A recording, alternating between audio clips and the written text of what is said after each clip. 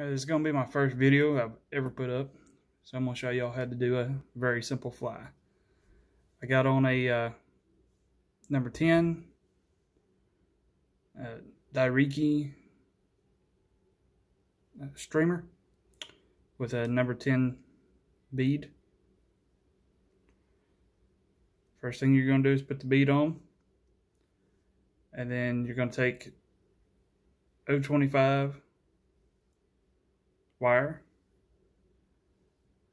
Oh, I like to wrap it Ooh, just a few times, eight or ten times.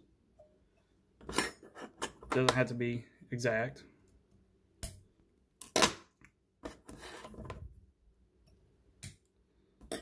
Trim that up flush. And then push it right into the bead there. Next, you're going to need UTC, UTC 140 in red. Go just behind the lid, right back to capture. Cut off the excess tag. Come forward and build you a little thread dam behind that thread, behind the lead, just to make sure it doesn't slip back. Then you're going to wrap back the bend of the hook about where the barb is. And for those of you who fish barbless, it's nothing to uh, mash down the barb on this when you go fishing. Or just use a barbless hook when you tie this. Next thing to do, I like to take some of this uh, yellow or uh, sometimes I'll use I use white. Actually, I may I'm just going to go ahead and use the white because I like the white.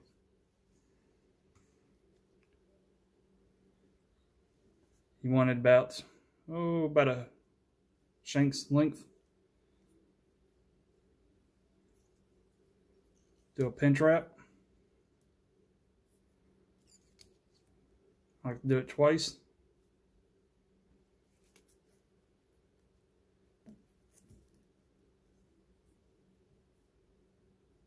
And then wrap a couple times on top of that. Lift up and snip off close.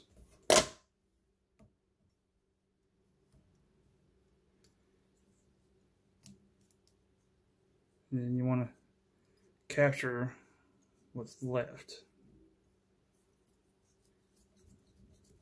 Now, you're actually going to do a body completely in this thread.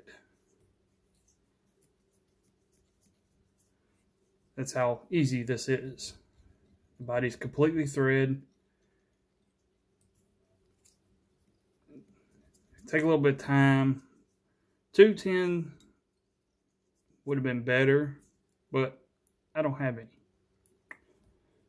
210 wouldn't have used up quite as much thread. But 140 will do just fine. You just use a little bit more thread, that's all.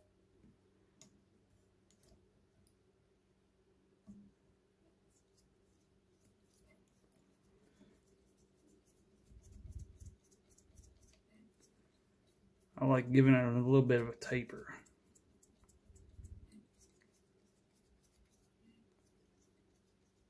You want to make sure you cover up. Feather flying all around please. Make sure you cover up the lead.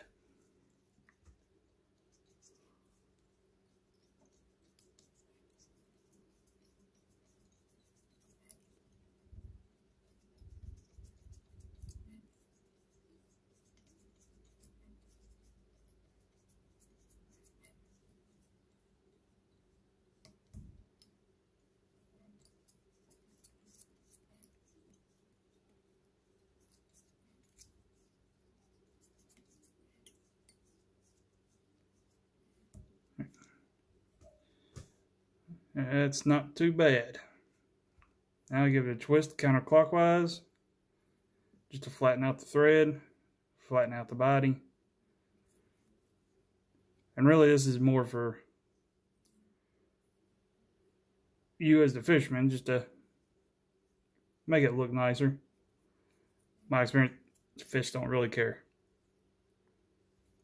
But it does make a nicer looking fly because it flattens out the thread gives you a flatter looking body. And you'll have to twist that thread counterclockwise maybe two or three times until you get to the end. Then twist it clockwise again, twist that thread back up just a bit. Now, I'm gonna take some Estaz. I use butter rum.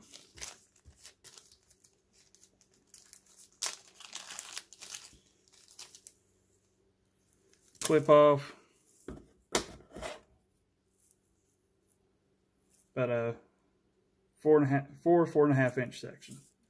It sounds like a lot, but you should be able to get at least a couple flies out of this. And you're going to tie that on at the rear, capture it, and go all the way up. Put your thread back up behind the bead, and you're going to start wrapping. And you want open spiral wraps. Try to space them out as evenly as you possibly can. Then, I'll take that, capture it, go over it once, come around, go on over on the other side. I'll do that a couple times. Snip off the excess, make sure your thread is out of the way. I can't tell you how many times I've gone to cut off the excess and I've accidentally cut the, the thread. It's extremely aggravating. Then you do a half hitch or a whip finish. For a whip finish, you simply take your string, take your thread, see this point here where it bends, you're gonna hold the ball. You're gonna push down on that and then wrap over the top until you form a triangle.